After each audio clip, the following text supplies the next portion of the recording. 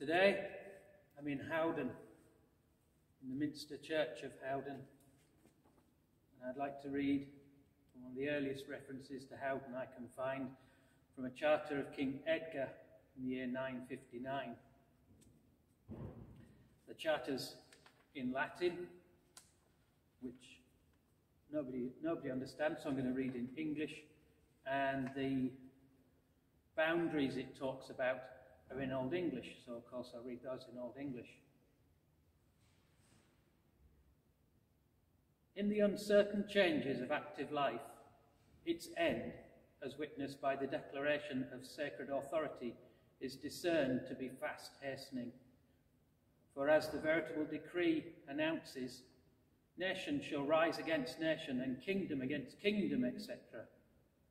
For all estates of the present life are forsaken in the uncertain destinies of our successors, and all the glory of the world, when the term of death comes on, falls away in turn to nothing. Therefore, seeing that the small possessions of these fleeting things are ever relapsing, we should much rather endeavour, under the protection of the Most High, to acquire eternal things by gaining the rewards of the celestial country. Wherefore I, Edgar, governor and ruler of the whole province of Mercia, and also of other races dwelling around, moved favourably by devotion, have granted in perpetual inheritance to a certain matron very faithful to me, who is named by her acquaintance in distinction Queen, a certain piece of land. By estimation, it may be severed in two parts, which in common speech are called by the inhabitants of this province Hefutdene and Eldidreche, that she may, according to her wish, happily enjoy the same with all belongings to it, viz., meadows, pastures, and woods, and after the term of her life may leave it free to whomsoever allotted she shall will. Moreover, let the aforesaid land which I, with the consent of my witan, have granted to the aforesaid matron, be free from every burden of land service, these three excepted, viz. military service, the repair of bridges, and fortresses.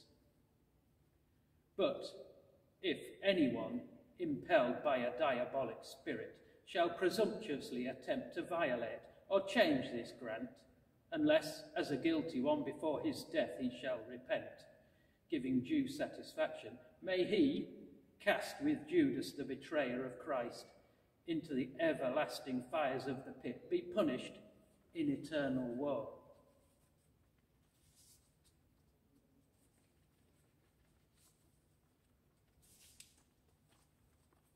This sind landgemare till herfotdenne, of usan uppon wilbardis fleote, of wilbardis flote on dick and lang dickes on dia wartan, on dia wartan, on jerichti of Karholm, of Karholmi and lang dickes eld on boot and woodda fulnea, and lang fulnea on eld on dia wartan, and lang elde dior wentan, on efton usan. Lasi on da harath to hiafodeni mit mitsokni. Knulingatum, Björkull, Karfeld, Thorp, Hude, Estringatun, Bellavi, Kelpenni. This sindon landgemare at Eldreche, of Ur, on Hrot Holm, of Rodlafisholm to Simarion Sigrisak, of Sigrisak on Usan, and lang Usan eft up on Ur.